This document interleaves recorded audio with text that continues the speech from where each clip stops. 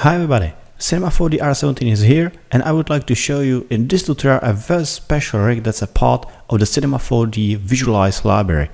I am Pavel from www.c4d.cz and I'm an author of the rig.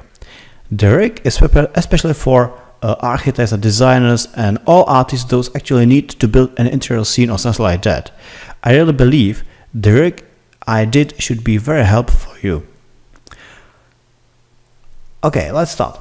Go to the content browser, choose the presets. Visualize.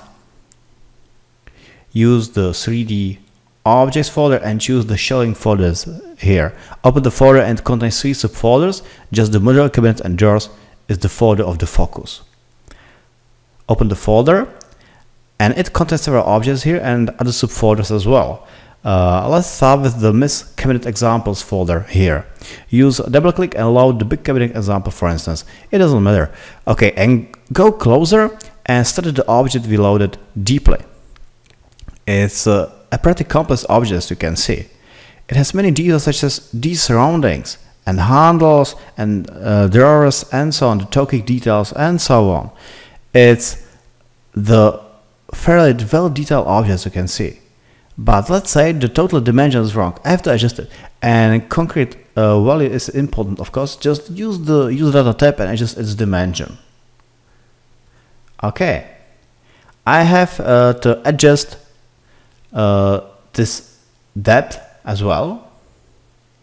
Okay, it's here and uh, done already. It was pretty fast. I would like to have more drawers here. Three, for instance. That's not a problem. So open the cabinet object hierarchy and find the door horizontal object. Assert the object and change the doors count value here. Okay, let's say I would like to change the height of the top drawer. Okay, no problem. Uh, here's a spline. I will create a new control point and move it up. Perfect, we got a different look. Let's continue. Let's say we don't like the toe kick detail here. So select the main cabinet object, go to Attributes Manager and turn off the toe kick trigger and reduce uh, the Kick height value as well. It's updated simultaneously as you can see. It's very powerful very flexible and definitely very fast. Here the last uh, we have to adjust is uh, the shelves distribution height value. Okay, done. It's really very very powerful object. It can be used at 90% of all cabinet shapes you can Im imagine. But uh, it definitely needs a deep understanding, of course. Okay, so set the object, you can delete it and go back to the content browser, go up and use the main folder of the rig and let's study it deeply. It uh, contains uh, several objects we, as we know. Uh, the main object of the rig is the cabinet. Here are two other additional doors objects. They are called doors, door horizontal and door vertical. And all handle objects you can see play a role of handles examples only. They aren't a part of the rig. Just use this one or feel free to prepare your own if you like to. Let's start with the cabinet. Yes, it takes some time. We need a multi-threading support, definitely. Okay, uh, set the object and go closer. Uh, as you know already, we can adjust its dimension here. Here's its height and depth and so on. But I actually have to adjust the shelf's look as well. So to go down, I adjust its depth. It can't be deeper than the current depth of the cabinet, of course. But I will set some uh, some offset here, so minus 3, it looks perfectly. And let's adjust its count. So increase it to 3 for instance and adjust the distribution height value as well. Okay, and we can uh, we can tweak it by the distribution spline. Oops, I forgot important information. Because Direct is a part of the Visualize package, uh, it doesn't use any MoGraph feature. Is, it just generates some instances and objects, that's all. So isn't restricted from a functionality point of view. It's nice. Okay, go up and let's say uh, we would like to do a corner kitchen cabinet for instance so let's adjust uh, its uh, dimension again use 40 here and set it the same here as well and set the height to 90 and turn off uh, its side. So we can turn off the right side, for instance, or the left. It doesn't matter, of course. Okay. So it's definitely possible, as you can see, but check the back. It's too thin. It has to be thicker, of course. User settings again, go to the back settings and adjust its thickness here. It's adjusted and we can use some rounding here as well. It will generate some nice looking natural effect. Okay. We got a totally different look. It's amazing. Go back and activate the right side again. Let's say I don't like the back. So we can turn off the object. And it works perfectly. Okay. We can offset uh, shelves uh, from the back in case it's activated. Uh, so activate activate the back trigger again and we can play with uh, other options it has.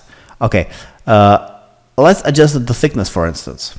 We can use two or more, but it doesn't affect the countertop object because it's controlled independently. So use the original value and adjust the countertop thickness. I use 4 or 3.6 for instance here.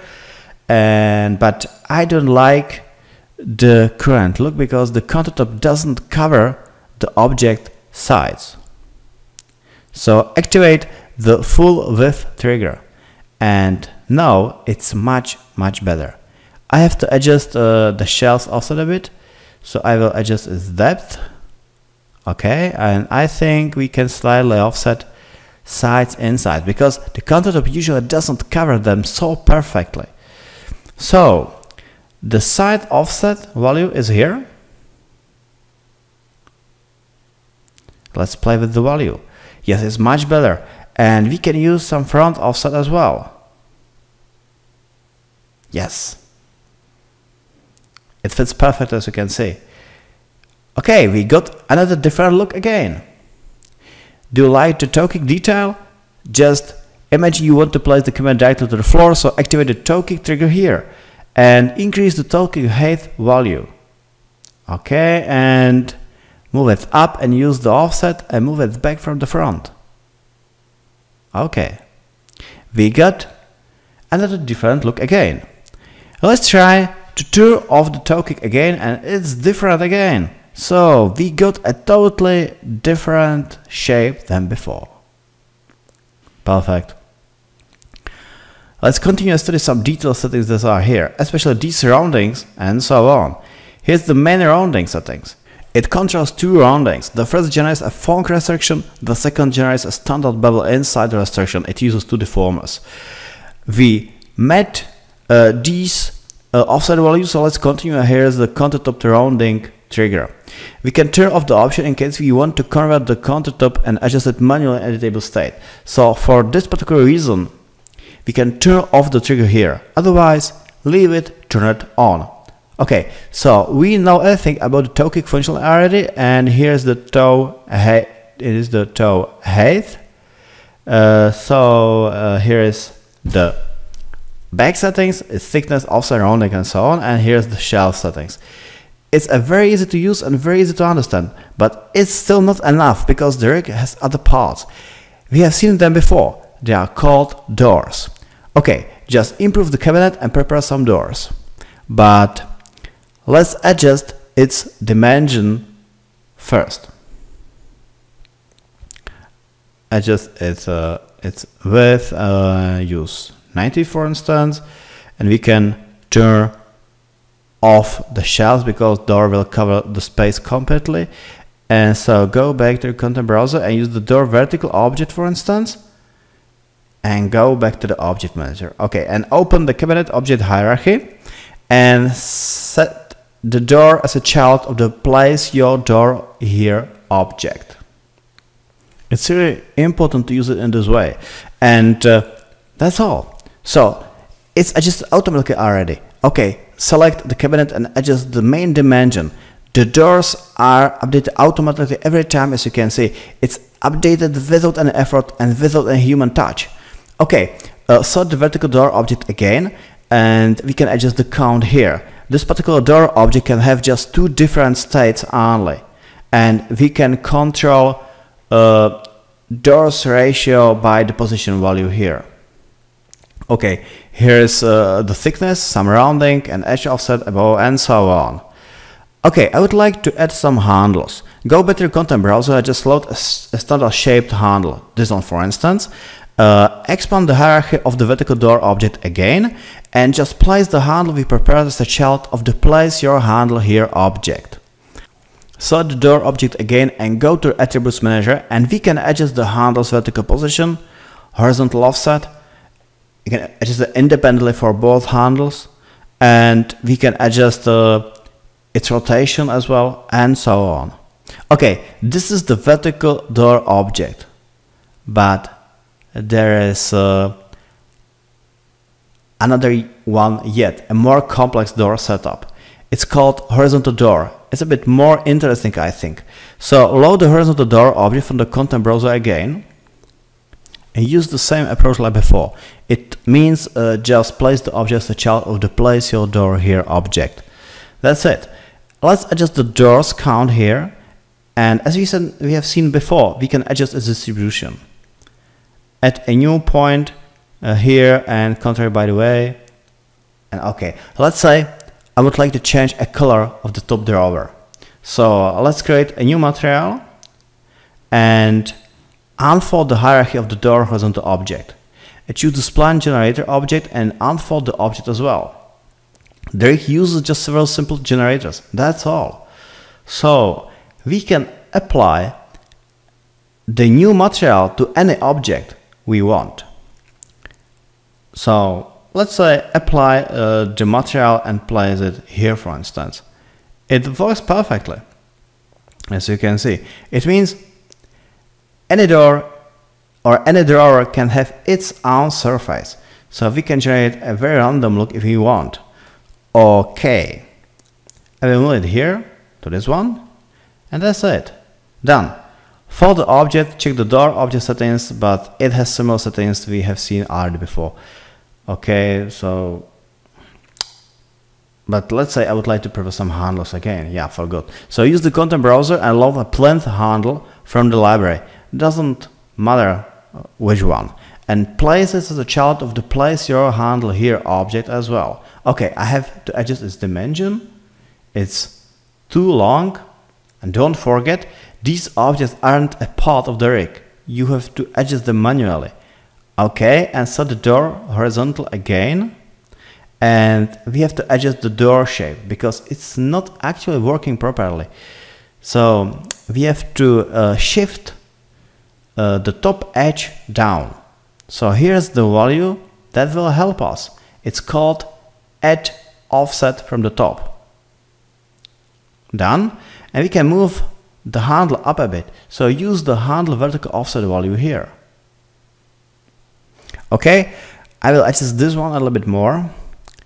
It's actually done. It was perfectly and we got a totally different and very complex look again. Okay, I'm not sure about the plinth look I used here. So let's say a client isn't sure about it, for instance. So uh, go back to your content browser and load the second one and place as a chart of the place your handle here object again. And just uh, change the used order here.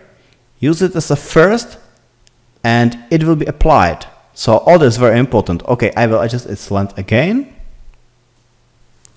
Okay, use 40 for instance, but it's not really important. It doesn't matter, of course. And we can simply change the order and show the client all handles variations of the cabinet we have. So we can easily decide what's the best for him or us. Doesn't matter. That's really all about this example. This is the cabinet trick of Cinema 4D R17 Visualize, but don't forget, you can really combine more rigs together. Just use more object, objects, turn off all paths you don't actually need and a result can be very interesting. We are able to achieve a totally new look by the way. Let's prepare a simple example. Create a new cabinet, adjust its dimensions like before. I will adjust its thickness as well, all of them. Okay, and let's adjust its size. So the width can stay 90 for instance, set the Y to 40 and set the Z to 40 as well. Okay, I will increase the width, it looks weird a bit. now it's a lot better okay and decrease the shelves count value to zero but I would like to achieve a different look let's say the cabinet will be divided onto two parts the left side should stay opened and there uh, can be some drawers on the right side. No problem. Select the object press the alt key. Uh, it will create a new parent object of the currently selected object and create a new null object. Okay? And just uh, select uh, the current itself and create a new copy of the object and move it right. With the shift key. That's all. Uh, perfect. And but don't but we don't actually need uh, the countertop so we can turn off the option here. Here okay. We don't need the back as well. And we don't need the bottom desk either. And we can turn off the right as well yeah. Uh, yeah uh, yeah I forgot. I just the width of the object I totally forgot. Sorry. 70 perfect. Done use the content browser again and load the horizontal door object and place as a child of the second of the second cabinet uh, cabinets uh, place your door ob uh, here object Got it. We have to adjust the cabinet to uh, look a bit more because the countertop doesn't cover the drawers. So adjust the offset. Okay, it's adjusted. So edit the second object as well. Yep, it works perfectly we got a totally new object, a very complex object that combines two independent cabinet rigs. So the combination trick can be really very helpful. Okay, I don't want to say rig covers all possible looks and designs you can imagine. Maybe there's a space for future improvements, but it saves your time a lot already. Nobody knows, and I don't know either. Okay, we will see. I hope you will like rig. And thank you for watching and see you at www.c4d.cz. And don't hesitate to contact me if you uh, will have some suggestions or need to build some special solutions and so on. See you next time!